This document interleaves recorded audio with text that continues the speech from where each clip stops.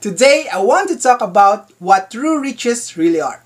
To do this, let me share with you a story about the rich dad and his son. The story goes like this.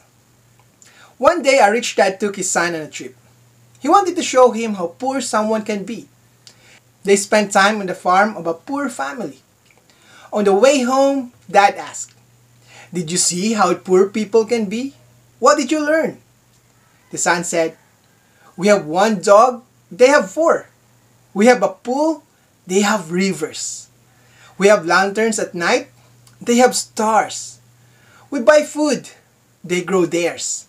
We have a fence and walls to protect us. They have friends. Our patio reaches to the front yard, and they have the whole horizon. We have a small piece of land to live on, and they have fields that go beyond our sight.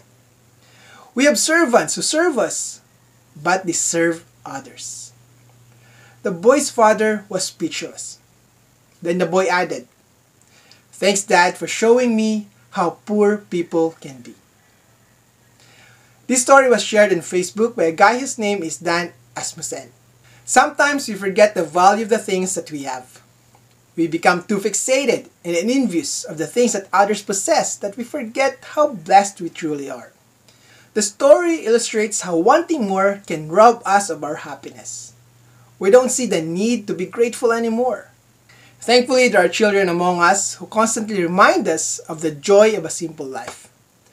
In order for people to accumulate worldly possessions, they need to sacrifice their time, energy, and resources.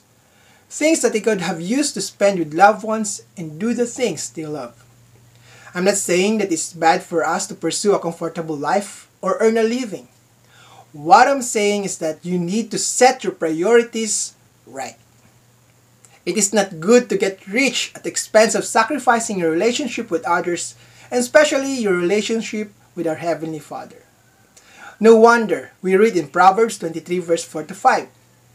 Do not overwork to be rich. Because of your own understanding, cease.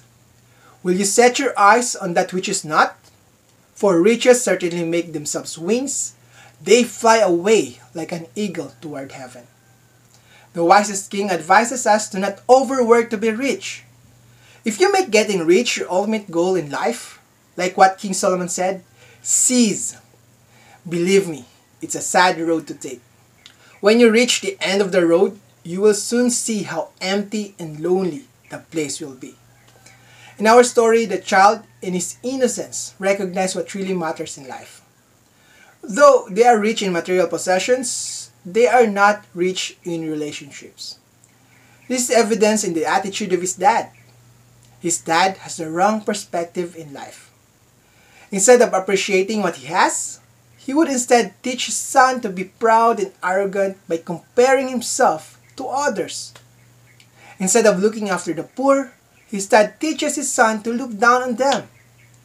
Don't forget that whoever you are, whether you are rich or poor, young or old, it is not your possession that will give you value.